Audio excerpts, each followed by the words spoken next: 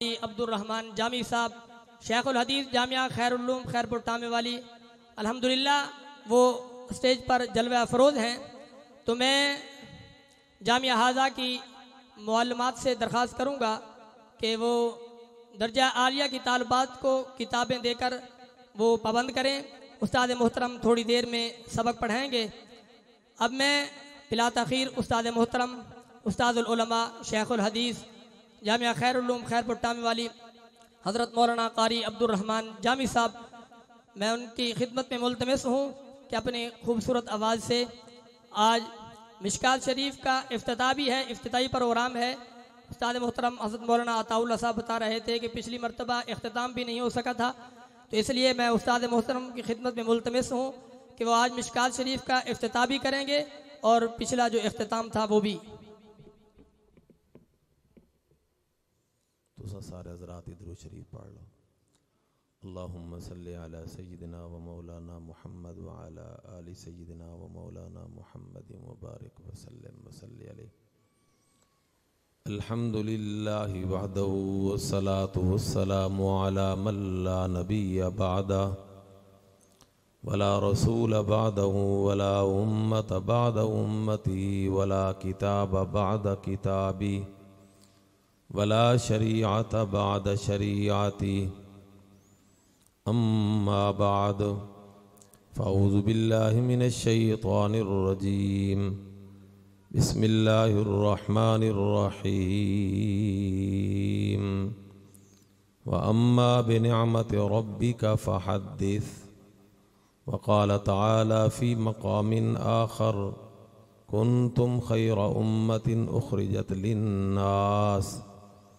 तअमुरून बिलमारूफ व तनहऊन अनिल मुनकर व तुमिनून बिल्लाह वान बहज बिन हकीम रज़ी अल्लाह ताला अन्हु अन अबीही अन जद्दिही अन्नहु समिया रसूल अल्लाह सल्लल्लाहु अलैहि वसल्लम यकूल फ़ी कौली ताला कुन्तुम खैर उम्मतिन उखरिजत लिन्नास काल अनतुम तुतिम्मून सबईन उम्मा अनतुम खैरुहा व अक्रमुहु व अक्रमुहा अलल्लाहि ताला औ कमा काल नबी सल्लल्लाहु अलैहि वसल्लम सदक़ल्लाहु व सदक़ रसूलुहु नबीयुल करीम व नहनु अला ज़ालिक लमिन शाहिदीन शाकिरीन वल्हम्दुलिल्लाहि रब्बिल आलमीन एक मरतबा फिर सारे हजरात दरू शरीफ, मर्द ख़वातीन, मर्द हजरात बुलंद आवाज़ से, ख़वातीन आहिस्ता आवाज़ से दरू शरीफ तिलावत। व अला आलि मुहम्मद कमा सल्लैत अला इब्राहीम व अला आलि इब्राहीम इन्नक हमीदुम मजीद। अल्लाहुम्म बारिक अला मुहम्मद व अला आलि मुहम्मद कमा बारकत अला इब्राहीम व अला आलि इब्राहीम इन्नक हमीदुम ग्राम कदर बुज़ुर्गान मोहतरम वाजब एहतराम हज़रात कराम बिरदरान इस्लाम अज़ीज़ तलबा इज़्ज़त वाली हयादार पाक दामन मेरी माएँ बहनें और बेटियाँ जैसा कि आप हजरात ने एलानात के ज़रिए समात फरमाया कि मदरसा अरबिया कासमिया कोट आज़म में मिशकात शरीफ जो हदीस पाक की एक मारकतुल आरा किताब है, उसका आखिरी दर्स भी होना है और इब्तदाई दर्स इफ्ताही दर्स भी होना है। और साथ आप हजरात ने बहुत सारे कराम के नाम भी समात फरमाए कि उनके ईमान अफरोज़ बयानात भी होने हैं। सबक का मिजाज और होता है, तकरीर और वाज का मिजाज और होता है। इसलिए मैं चूँकि सबक पढ़ाने के लिए बैठा हूँ तो इसलिए एक तो बात उर्दू में होगी। इसलिए कि हम सबक उर्दू ज़ुबान में पढ़ाते हैं। वाज नसीहत तो अपनी ज़ुबान में चलता है, लेकिन दरसगाह में जो सबक होता है, वो हमेशा उर्दू ज़ुबान में होता है। तो इसलिए मैं अपने मामूल से हट के, चूँकि सबक पढ़ा रहा हूँ, इसलिए बात उर्दू में होगी और मैं आसान आसान उर्दू बोलूँगा इन और मेरे बाद चूँकि कराम हैं, वो अपने ज़ुबान में, अपने अंदाज में इन बयान फरमाएँगे।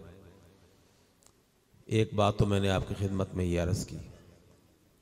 और दूसरी बात ये है कि मेरे सामने दो किताबें रखी हैं। किताब तो एक है, जिल्दें उसकी दो हैं। किताब का नाम है मिशकात शरीफ, पूरा नाम है मिशकातुल मसाबी मशहूर जो है वो मिशकात शरीफ के नाम से है। तो जैसे अभी मौली कलीमुल्ला साहब ने बताया भी पिछले साल हम अख्ताम नहीं करा सके तो आखिरी हदीस का दर्स भी होगा। और चूँकि साल, तालीमी साल का आगाज़ हो रहा है पूरे मदारस अरबिया पाकिस्तान में तो इसलिए आप दोस्तों की विसात से हम अपनी बच्चियों को आज पहला सबक भी पढ़ा देंगे, ताकि साल भर फिर वो अपना हदीस पाक पढ़ती रहे। इसके बाद आप हजरात इस बात पर ज़रा ध्यान दें कि आखिर इसकी क्या ज़रूरत पेश आई कि हम हदीस पाक की किताब मिशका शरीफ का आखिरी दर्स भी दें और पहला दर्स भी दें। आखिर इसकी ज़रूरत क्या है? मेरे मोहतरम सामीन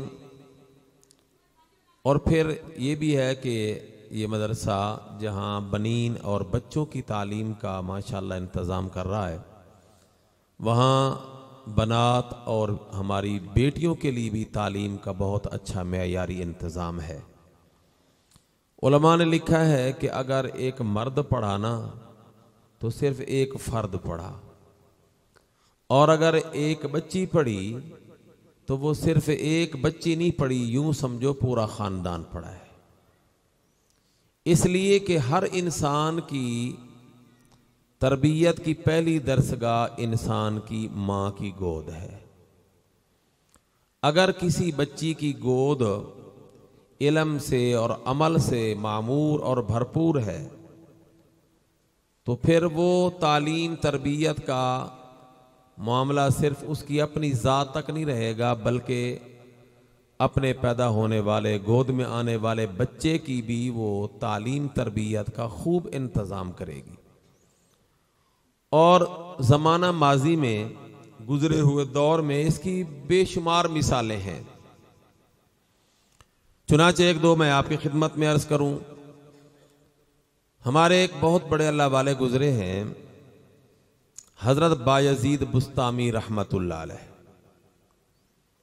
औलिया अल्लाह के सरखेल हैं अलिया अल्लाह के यूँ समझो वो बादशाह है। अलिया अल्लाह में उनका क्या मकाम है? उलमा ने लिखा कि फरिश्तों में, ध्यान से बात को सुन, फरिश्तों में जो मकाम जबरील सलाम का है अलिया अल्लाह में वही मकाम बायजीद बुस्तामी रहमत का है। और जबरील सलाम सारे फरिश्तों के सरदार सैयदुल मलाइका रूहुल अमीन, उनका लकब है। तमाम नबियों के पास अपने अपने ज़माने में वही अल्लाह से वो लेके आते रहे। आखिर में हमारे नबी पाक सल्लल्लाहु अलैहि वसल्लम पर वो वही लाए, कुरान लाए। कुरान करीम की आयात छः हज़ार छः सौ छियाठ है। लेकिन अल्लामा सयूती रहमाउल्ला जो बहुत बड़े आलम गुजरे हैं, वो फरमाते हैं कि जबरील सलाम हमारे नबी पाक सल्लल्लाहु अलैहि वसल्लम पर सिर्फ़ छः हज़ार छः सौ छियासठ मरतबा नहीं आए, बल्कि चौबीस हज़ार मरतबा आए हैं।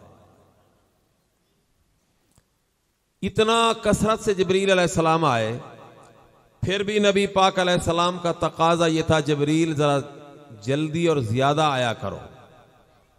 तो रब्बुल आलमीन ने इरशाद फरमाया, वही भेजी जबरील सलाम के हाथ, हजूर सलाम के पास, कि वमा न तनजल अमर रबिक हम अपनी मर्ज़ी से नहीं आते, बल्कि अल्लाह के हुक्म से हम आ सकते।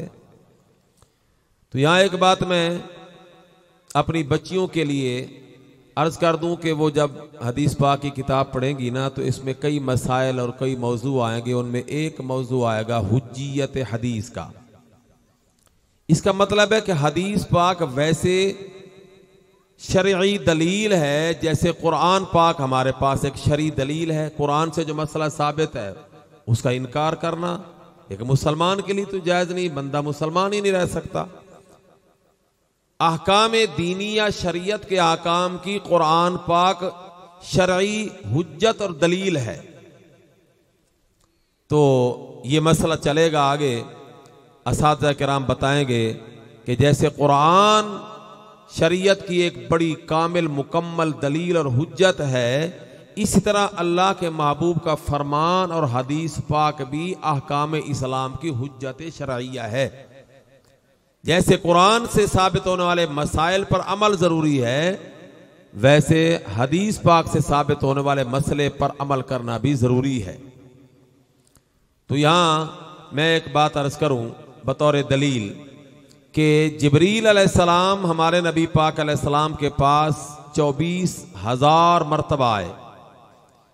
अगर हम ये मान लें कि जबरील सलाम हर मरतबा एक आयत कुरान की ले आते थे हालाँकि कई दफ़ा पूरी पूरी सूरत भी आई। पहली वही जो आई, इकरा बिस्म रब कल्लजी खलक। पाँच आयतें पहली वही में आई। उसके बाद पूरी पूरी सूरत भी आई। एक एक आयत भी आई। अगर हम ये फ़र्ज़ कर लें कि हर मरतबा एक आयत आई तो छः हज़ार छः सौ छियासठ मरतबा तो कुरान पाक आ गया। अब इसके अलावा बाकी उन्नीस हज़ार मरतबा जो जबरील हजूर पाक के पास है, वो क्या लेके आए हैं? कुरान तो आ गया, छह हज़ार छह सौ छियासठ मरतबा आने में। उन्नीस हज़ार कई सौ मरतबा जबरील फिर भी हजूर के पास आए तो वो क्या लेके आए? तो याद रखना मेरे मोहतरम सामीन वो ये अल्लाह के नबी के जो फरामीन हदीस की शक्ल में जबरील हजूर के पास ये लेके आए। तो ये जो नबी सलाम की हदीस पाक है ना, ये भी अहकाम की शरीयत के मसाइल की हुज्जत और दलील कतई है। इसका इनकार भी नहीं किया जा सकता। ताहम, मैं अगली बात अर्ज़ करूँ, इख्तसारन मैंने ये बात अर्ज़ कर दी कि हदीस पाक की इख्तामी और अफ्ताही तकरीब मुनद की जाती है। उसकी पता वजह क्या है? इसकी वजह यह है कि उलमा ने लिखा है, आप हजरात भी जानते हैं कि अगर एक बंदा जमात के साथ नमाज़ पढ़ने के लिए आए लेकिन आया वो देर से। किसी वजह से उसको देर हो गई। वो अतहियात में आके इमाम के साथ जमात में शामिल हो गया। सलाम फिरने से एक लम्हा सिर्फ़ पहले। तो क्या ख्याल है, इस नमाजी को जमात की नमाज़ का सवाब मिलेगा कि नहीं मिलेगा? जमात में शामिल जो हो गया, सलाम से पहले पहले तो जमात का सवाब मिलेगा ना इसको? तो ये जो हदीस पाक है हमारी बच्चियाँ सारा साल पढ़ेंगी। आपको सलाम फिरने से पहले बुलाया गया। आखिरी हदीस पढ़ने से पहले आपको बुलाया गया। ताकि आप भी हदीस पाक की मजलिस में शरीक हो जाएँ। अगर कोई बंदा सलाम फिरने से पहले जमात में शामिल हो जाए, उसको जमात का सवाब मिलता है।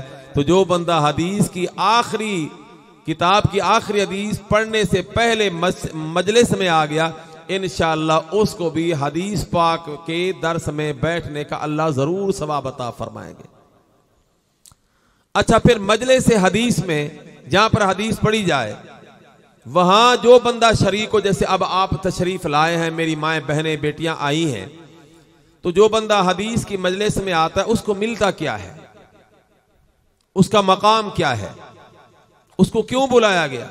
शरीक तो आप हो गए, लेकिन आपको मिलेगा क्या? तो इस पर बहुत सारी बातें हैं, लेकिन मैं शॉर्टकट एक बात अर्ज़ करूँ कि जो पूरे बर्र सगीर पाको हिंद में हमारे पास हदीस पाक का इलम आया है ना, ये इमामुल हिंद शाह वलील्ला मुहदस देहलवी रहमतुल्लाह अलैह की वास्ते से हमारे पास ये हदीस का इलम आया है। शाह वलील्ला मुहदस देहलवी रहमतुल्लाह अलैह। उन्होंने किताब लिखी है, फयूजुल हरमैन। उस किताब में वो लिखते हैं कि अल्लाह ताला ने मुझे नबी पाक सरकार आलम सल्लल्लाहु अलैहि वसल्लम के रोज़ पाक पर हाजिरी की सआदत नसीब फरमाई। आजकल लोग आ भी रहे जा भी रहे दुआ करो अल्लाह हमें भी नबी सलाम के रोज़ पाक की हाजिरी नसीब फरमा दे। मांगते रहा करें अल्लाह से, अल्लाह के लिए कोई मुश्किल नहीं है। हमारे लिए सारे काम मुश्किल है, अल्लाह के लिए कोई मुश्किल काम नहीं है। तो शावलीला मुहदस देलवी रहमत फरमाते हैं, मैं नबी सलाम के रोज़ पाक पे हाजिर हुआ सलाम पेश किया। मुवाजा शरीफ जो है ना, हजूर सलाम का जहाँ रुख मुबारक है, बंदा वहाँ जाके सामने खड़ा होता है और सलात सलाम पेश करता है, उसको कहते हैं मुवाजा शरीफ। तो फरमाते हैं शाह वलीस दिलवी रहमत के मैं जब मुवाजा शरीफ पर हाजिर हुआ, मैंने सलात सलाम पेश किया तो मैंने वहाँ मुराकबा किया। मुराकबा यह कि गर्दन झुका के मैं बैठ गया और मैंने अल्लाह ताला से दुआ की कि इलामीन आपकी तरफ़ से जो रहमतें, जो अनवारात, जो बरक़ात, जो फ्यूज़ नबी पाक सरकार दो आलम सल्लल्लाहु अलैहि वसल्लम के रोज़ पाक पे उतर रहे हैं, अल्लाह मुझे वो देखना नसीब फरमा दे, मुझे वो दिखा दे। मैं वो अनवारात, बरक़ात तजलियात मैं ज़रा अपनी आँखों से देख लूँ, जो हुजूर के रोज़ अतहर पे उतर रहे फरमाते, मैंने तो अल्लाह ताला से इतना मांगा था, मैंने थोड़ा मांगा कि हुजूर के रोज़ अनवर पे जो अनवारात, बरक़ात तजलियात फजूत, फ्यूज नाजिल हो रहे हैं, मुझे वो दिखा दे। अल्लाह रब्बुल आलमीन ने उस जगह की बरकत से मुझे मेरी मांग और तलब से भी ज़्यादा अता फरमाया। क्योंकि वो ज़ात रहमान ज़ात है। और रहमान ज़ात जो है, वो बिन मांगे अता करती है और बंदे की मांग और तलब से भी ज़्यादा अता फरमाते हैं। तो फरमाते हैं कि मैंने अपनी बातनी और दिल की आँखों से देखा कि मैंने तो सिर्फ़ हुजूर के रोज़े पर उतरने वाले बरकत देखना मांगे। अल्लाह रब्बुल आलमीन ने उसे ज़्यादा अता किया कि हुजूर के रोज़ पाक पर जो अनवारात और बरकत उतर रहे थे, अल्लाह ने मुझे वो भी दिखाए और बल्कि नबी पाक सल्लल्लाहु अलैहि वसल्लम के दिल पाक से, कल्ब अतहर से नूर के धागे, नूर की शुआएँ और नूर की लाइट हुजूर सलाम के सीने से निकल रही थी। मैंने अपनी बातनी आँखों से देखी। फिर वो अनवारात और वो तजल्लियात जो हुजूर सलाम के पाक दिल से उठ रहे थे, निकल रहे थे, वो कहाँ पड़ रहे थे? ये बात है, असल जो मैंने आपकी खिदमत में अर्ज़ करनी है। हज़रत शाह वलीस दिलवी रहमत फरमाते हैं, नबी सलाम के पाक दिल से वो अनवारात तजलियात की जो शुआएँ उठ रही थी जहाँ जहाँ पर कायनात में नबी सलाम की हदीस की मजलिस लगी हुई थी, उस मजलिस में जो लोग मौजूद थे, उनके दिलों के अंदर वो अनवारात बरकत आ रहे थे। अल्लाह अगर हमें भी वो आँख नसीब कर दे और फिर हमारी किस्मत जाग जाए तो अल्लाह हमें भी दिखा दे। अच्छा एक बंदे ने रमज़ान शरीफ का चाँद नहीं देखा। और दूसरे दो चार बंदों ने देख लिया है। तो अगर ये न देखने वाला बंदा रमज़ान शरीफ का चाँद देखने वालों की बात को मान ले और रोजा रख ले तो क्या ख्याल है इसको फ़ायदा हुआ या नुकसान हुआ? फ़ायदा हुआ ना कि रमज़ान शरीफ का इसको रोजा नसीब हो गया। ईद का चाँद इसको नज़र नहीं आया, किसी और को नज़र आ गया, उसने बता दिया। इसने उसकी बात पे अमल करके ईद पढ़ ली, अल्लाह की रामते समेट ली। तो जो न माने उसकी बात को रोजा रखने से भी मारूम रहा। ईद की खुशी और सवाब से भी मारूम रहा। तो जिसने देखा है चाँद को उसकी बात मान ली तो फ़ायदा हो गया। अगर हमने वो अनवारात बरकत फ्यूज नहीं देखे तो जिन्होंने देखे उनकी बात को मान ले तो इनशाला हमें फ़ायदा हो जाएगा। बाकी हदीस पाक की जो मजलिस है, इसका बहुत ज़्यादा अदब होता है। अभी आप हजरात हदीस की मजलिस में बैठे हैं और मेरी वो बेटियाँ खुश नसीब बच्चियाँ, जो पूरा साल हदीस पाक पढ़ेंगी असल तो मैं उनके लिए अर्ज़ कर रहा हूँ, उनकी विसात से आपकी खिदमत में, क्योंकि आज आप हदीस हदीस के ताले बने बैठे हैं तो इसलिए आप भी वो बात सुन लें। हदीस पाक के बहुत सारे आदाब हैं। और ये बात याद रखना बा अदब बा नसीब होता है और बे अदब हमेशा बेनसीब होता है, बल्कि बद नसीब होता है। जिन्होंने अदब किया है, अल्लाह ताला ने उन्हें बहुत ऊँचा मकाम अता फरमाया। पहले जमाने में भी और आज भी, आइंदा भी। इमाम बुखारी अलैह के उस्ताद हैं, इमाम अब्दुलरहमान बिन महदी अलैह।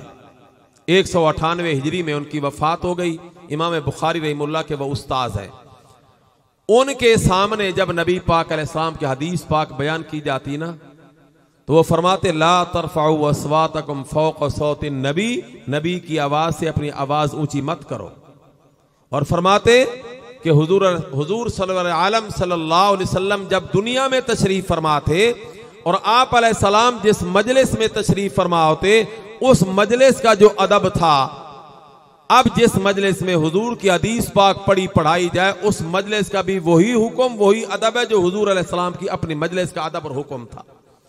इसलिए हदीस पाक की जो मजलिस है, उसका बहुत ज़्यादा इंसान को एहतराम करना चाहिए। और उसमें इंतहाई अदब के साथ बैठना चाहिए। सबसे पहले तो अपनी बेटियों से मैं ये गुजारिश करूँगा कि अपनी नीयत जो है ना वो बिल्कुल सही कर लें। मकसद ये हो कि हम हदीस पाक पढ़ेंगी, उस पर अमल करेंगी। दूसरी, बहनों तक, माओ, बेटियों तक वो हदीस पहुंचाएँगी ताकि उस पर अमल करें। अल्लाह भी राज़ी हो जाए, अल्लाह के रसूल सल्लल्लाहु अलैहि वसल्लम भी राज़ी हो जाए। चुनाचे इमाम बुखारी रहमत ने भी अपनी किताब की इब्तदा इसी हदीस पाक से की। और साहिब मिशकात जो हदीस की किताब में अभी ख़त्म कर रहा हूँ, फिर साथ शुरू करनी है, उसमें भी पहली हदीस, साहिब मिशकात वही लाए कि इन नमल आमाल बिन नीयत अपनी नीयतों को ठीक कर लो। तो आप हजरात भी अपनी नीयतों को दुरुस्त फरमा लें कि आज के बाद हम जो अमल भी नेक करेंगे ना, वो महज अल्लाह की रजा के लिए करेंगे। बाद दफ़ा दिखलावे के लिए हम कोई काम कर लेते हैं, उसका फ़ायदा नहीं, नुकसान होगा। हम जो नेक काम भी करें, महज अल्लाह की रजा के लिए करें। और हदीस पाक अदब का ये आलम है कि साहब कराम के बाद जो दौर है, मुसलमानों का, वो ताबेन का दौर कहलाता है। ताबेन में एक बड़े दर्जे के ताबी हैं, हज़रत सईद मुसैब रहमत ये खुद ताबेई हैं और इनके जो वालद है, वो नबी सलाम के सहाबी हैं, हज़रत मुसैब रज़ी अल्लाह तनो उनके ये बेटे हैं और बहुत बड़े आबिद जाहिद शब जिंदादार, कमाल दर्जे के आदमी थे। सईद मुसैब रहमत शेख हदीस मौलाना जकरिया रहमत ने उनके बारे में लिखा है, पचास साल, मेरी उम्र अब पचास साल से दो साल या एक साल ज़्यादा है। इतनी उम्र, पचास साल। सईद इबन मुसैब रहमत का हाल ये था कि ईशा के वज़ू से सुबह की नमाज़ अदा की है। इमाम अबू हनीफा रहमत के बारे में चालीस साल का है और सईद इबन मुसैब रहमत पचास साल। और तीस साल ऐसे गुजरे हैं, तीस साल। नाम लेना आसान है। जब अजान हुई, सईद इबन मुसैब रहमत मस्जिद में पहले मौजूद होते थे। एक दफ़ा भी ऐसा नहीं हुआ कि अजान हुई हो। अजान हो गई, सईद इबन मुसैब उसके बाद आए। हम तो घड़ी को देखते रहते हैं, कितने मिनट बाकी रह गए जमात में से। जो जाते हैं उनकी बात है, जो जाते नहीं उनकी तो बात ही नहीं। हम चाहते हैं कि रकात पड़ी पढ़ाई एक हमें मिल जाए खास तौर पर सुबह की नमाज़। नौजवान हजरात, चूँकि रकात लंबी होती है, पहली तो पढ़ी पढ़ाई मिल जाए, रकू में जाकर शामिल हूँ। और सईद इबन मुसैब रहमत का हाल ये है कि अजान होने से पहले मस्जिद में, और मस्जिद भी कौन सी? मस्जिद नबवी। जहाँ एक नमाज़ पढ़ो तो पचास हज़ार नमाज़ का सवाब मिलता है। अजान होने से पहले सईद बिन मुसैब मस्जिद में, मस्जिद नबी में तशरीफ़ फरमाए। मुश्किल तरीन हालात आए। मुश्किल से मुश्किल तरीन हालात आए। सईदना उस्मान गनी रज़ी अल्लाह तु की बात आप सुनते रहते हैं कि बलवाइयों ने, सबाई आदम खोर, सबाई तहरीक के एजेंडों ने हज़रत उस्मान गनी रज़ी अल्लाह तु पर हमला किया, मुहासरा किया, चालीस दिन पानी बंद रखा। आखिरकार उनको शहीद कर दिया गया। शेखुलदीस मौलाना जकरिया रहमत ने बहुत सारी बातें लिखी हैं। फरमाते उन दिनों में मस्जिद नबी के अंदर अजान नमाज़ बा जमात का सिलसिला बंद हो चुका। सारी मदीने के अंदर वो कोहराम ही कोहराम था। फरमाते हैं कि इन मुश्किल तरीन हालात में कि जब सबाई तहरीक के एजेंट आदम खोर इंसान के खून के प्यासे हज़रत उस्मान गनी को इंतहाई बेदर्दी से शहीद कर दिया। बाकी भी कुछ हजरात शहीद हुए। तो इन मुश्किल तरीन हालात में फरमाते एक तो इस मौके पर नमाज़ बाजमात का सिलसिला मस्जिद नबी में बंद हो गया। और फिर एक और मौका आया, सईद इबन मुसैब रहमतुल्लाह का जमाना। उस वक्त यजीद की तरफ़ से मदीना पर चढ़ाई की गई। हर्रा का वाक़ पेश आया। और उसमें कई दिन मस्जिद नबी के अंदर नमाज़, जमात, अजान सब खत्म। यहाँ तक लिखा के फौजियों के घोड़े मस्जिद नबी के अंदर कूदते फिरते थे, लाशों के ऊपर से लोग गुजरते थे। तो उन दिनों में अजान, नमाज़, जमात, मस्जिद में आना जाना सब बंद हो चुका। लेकिन सईदना हज़रत सईद इबन मुसैब रहमत इन मुश्किल तरीन हालात में भी मस्जिद नबी की हाजिरी नहीं छोड़ी जब देखो मस्जिद नबी में बैठे हैं, जब देखो मस्जिद नबी में आ रहे हैं। तो किसी ने पूछा, सईद, आपको अपनी जान अज़ीज़ नहीं है? लाशें ही लाशें हैं। किसी की परवाह नहीं। सहाब कराम शहीद हुए पड़े। और आप तो ताबे ही। हैं मस्जिद नबी में आ रहे हैं, जा रहे हैं। तो आपने फरमाया कि गुलिस्तान में जाके हर गुल को देखूँ, न तेरी सी रंगत, न तेरी सी बू है। मैं गुलिस्तान गुलिस्तान कहते बाग को। मैं गुलिस्तान में जाके हर गुल फुल को देखूँ। न तेरी सी रंगत, न तेरी सी बू है। निकल जाए दम तेरे कदमों के नीचे, यही दिल की हसरत, यही आरज़ू है। मैं मैं तो ये चाहता हूँ कि मेरी मौत आमना के लाल सल्लल्लाहु अलैहि वसल्लम के कदमों में आ जाए, मस्जिद नबी को जाते हुए शहीद हो जाऊँ, मस्जिद नबी में शहीद हो जाऊँ, नमाज़ के दौरान शहीद हो जाऊँ, तिलावत के दौरान शहीद हो जाऊँ, ज़िक्र अज का और क्या मुझे चाहिए? तो मैं मैं जान दे सकता हूँ, लेकिन आमना के लाल के मस्जिद नबी की हाजिरी नहीं छोड़ सकता। इन मुश्किल तरीन हालात में सईद बिन मुसैब ने मस्जिद नबी की हाजिरी नहीं छोड़ी। अब अजान भी नहीं हो रही, जमात भी नहीं है, लोग तो आते नहीं, और घड़ी वैसे नहीं थे उस जमाने में। ये तो सईदना उमर बिन अब्दुल अज़ीज़ रहमत के घड़ी, उनके जमाने में घड़ी की ईजाद हुई, जो बाद के खलीफा राशिद हैं। तो फरमाते हैं, सईद बिन मुसैब रहमत कि मैं अपने हिसाब के मुताबिक नमाज़ के टाइम का अंदाज़ा लगा के मैं मस्जिद नबी में चला जाता और नबी पाक सलाम के रोज़ पाक के करीब जाके बैठ जाता और इंतहाई अदब के साथ गौर करके बैठ जाता। सईद बिन मुसैब फरमाते हैं, जब अजान का वक्त होता तो आमना के लाल वसल्लम के रोज़ पाक से अजान की आवाज़ आना शुरू हो जाती। मैं आपसे पूछता हूँ कि वहाँ हुजूर के रोजा में कितने लोग दफन हैं? कुल तीन। कितने? तीन। एक अल्लाह के नबी हैं, एक अबू बकर सिद्दीक, एक उमर फारूक आज़म। चौथे बंदे, हज़रत ईसा वो बाद में अभी दफन होंगे, अभी तो बहुत देर है उनको। ये तीन बंदे हुजूर के रोजा पाक में दफन हैं। और सईद बिन मुसैब फरमाते हैं, मैंने अपने इन कानून से रोजा पाक से आजान की आवाज़ में सुनता, फिर चूँकि बंदा कोई नहीं होता, मैं उठता और अपनी अलग ही नमाज़, जमात की नियत करके मैं पढ़ लेता। सवाल यह है कि हजूर सलाम के रोज़ पाक में अजान कौन दे रहा था? हजूर सलाम ने अजान नहीं दी।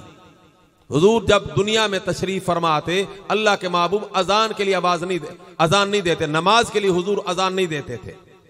इसलिए कि हुजूर की आवाज़ पर लब्बैक कह के आना वाजिब है, कोई ना है तो ईमान खत्म। अगर हुजूर बुलाए, हयाल सला, हयाल फला, आज कितने लोग आते हैं?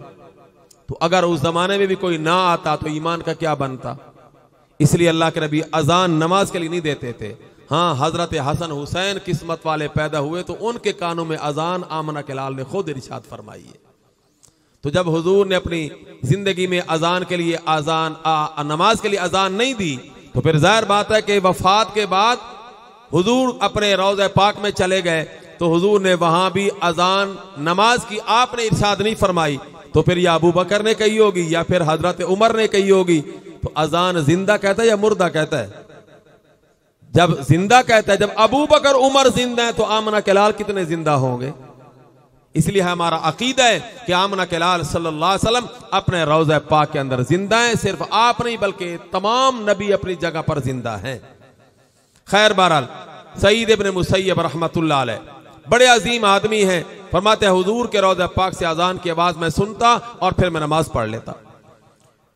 वो एक दफ़ा बीमार हो गए और बीमारी की वजह से लेटे हुए थे। एक शख्स आया, उसने आकर अर्ज़ की, हज़रत, मैंने ना, वो एक हदीस आपसे सुननी है तो मुझे हदीस इरशाद फरमा देंगे। फरमाया हाँ क्यों नहीं? उठ के बैठ गए, बड़ी तकलीफ़ के साथ उठ के बैठे और फिर उसको हदीस सुनाई और लेट गए। उसने कहा, हज़रत, इतनी तकलीफ़ क्यों फरमाई? आप तो बीमार थे, आपको तकलीफ़ थी तो लेटे ही लेटे हदीस सुना देते, क्या मुश्किल था आपके लिए?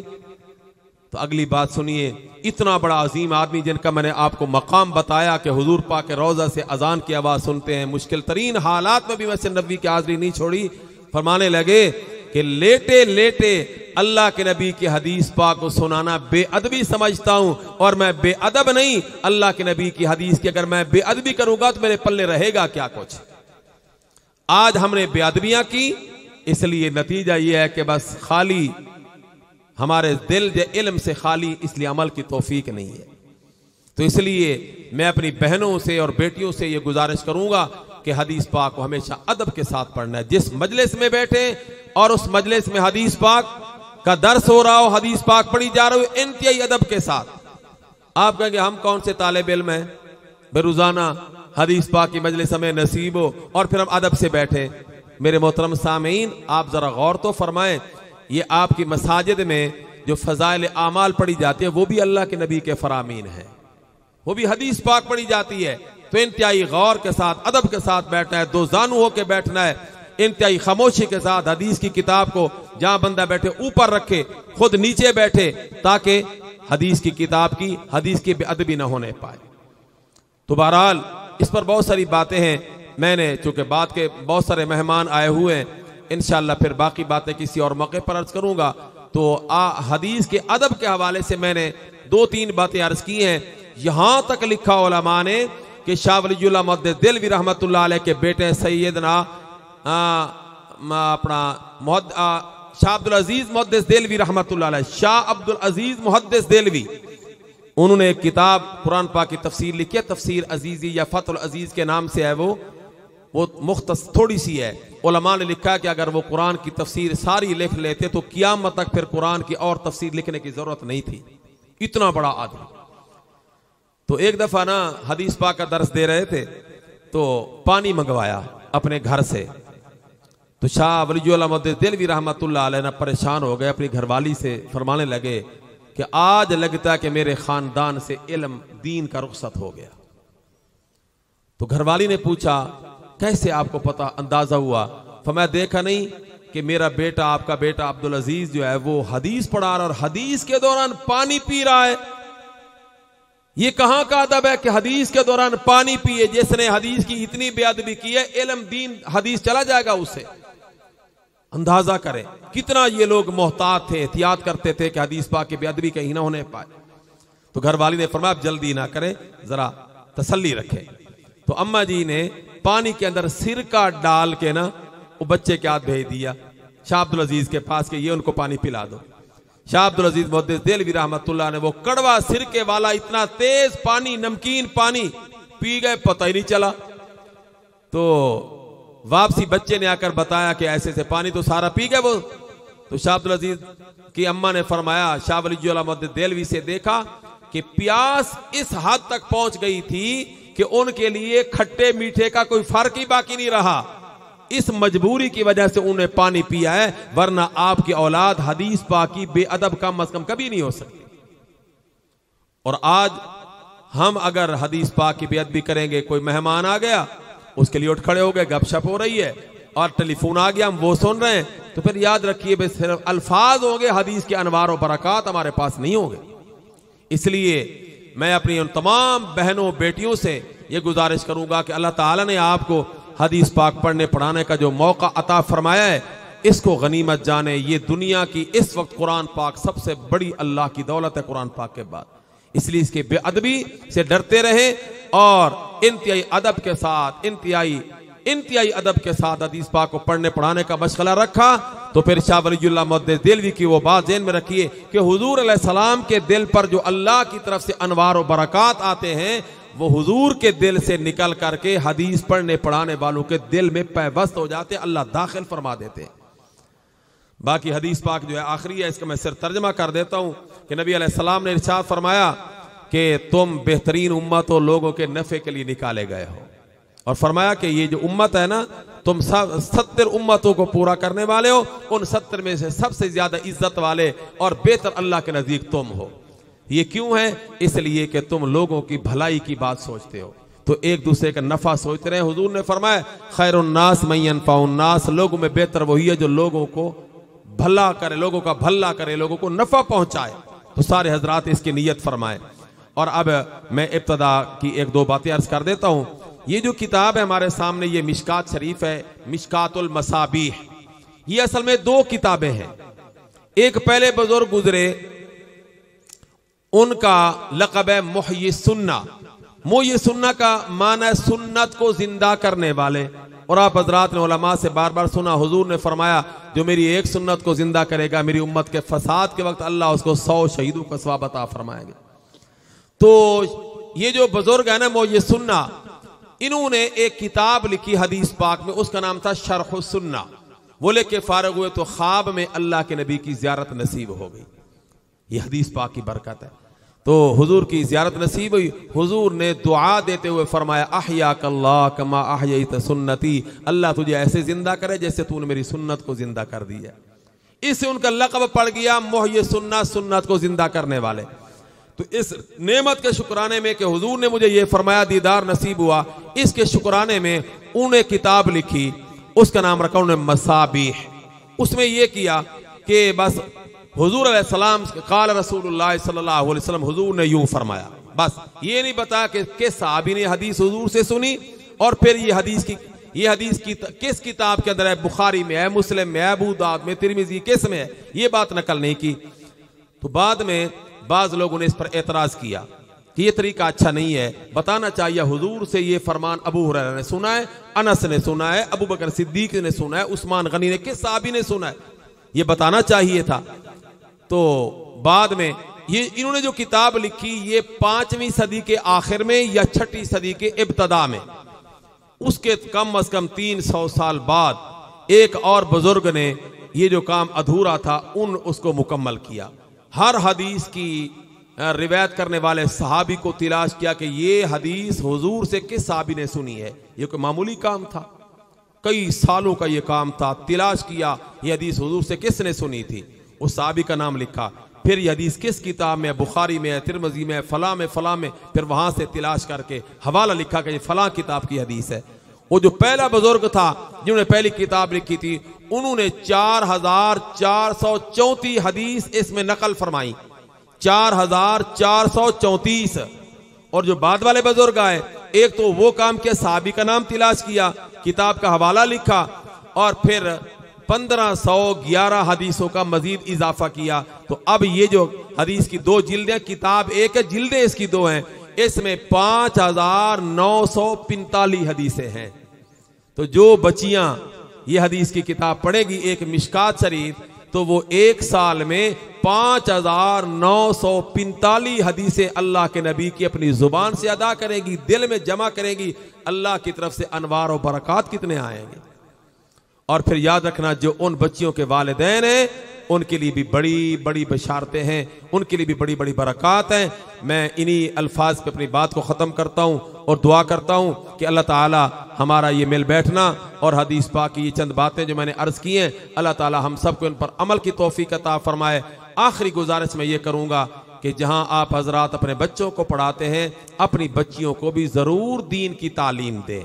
सबसे बड़ा तोहफा जो आपने अपनी औलाद को दिया वो कुरान कुरान के बाद इल्म दीन हदीस पाक का इल्म दिया। जिसने अपनी औलाद को ये दे दिया तो कायनात में सबसे बड़ा तोहफा अपनी औलाद को दे दिया है। इसलिए ये मदरसा हाँ, जामिया कासमिया कोट आज़म हमारे इस इलाके के लिए अल्लाह की नेमत है। इस नेमत की कदरदानी की सूरत यही है कि अपनी बच्चियों को यहाँ भेजें ताकि वो कुरान करीम भी पढ़ें और अल्लाह के रसूल सल्लल्लाहु अलैहि वसल्लम के अहादीस भी पढ़ें ताकि उनकी कब्र भी अल्लाह आबाद कर दे हमारी कब्रों को भी अल्लाह अपनी रहमत से मुनवर फरमा दे।